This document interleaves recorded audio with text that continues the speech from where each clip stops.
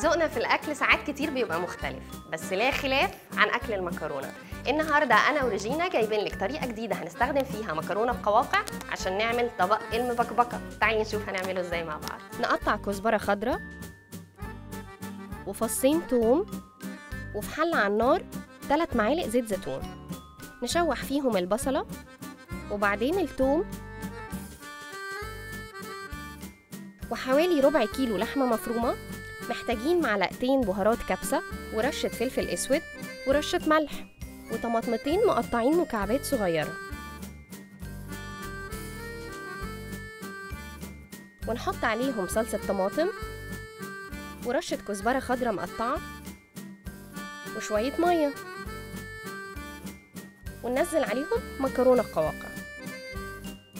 نغطيها لحد ما تغلي ونزود في الآخر رشة البقدونس.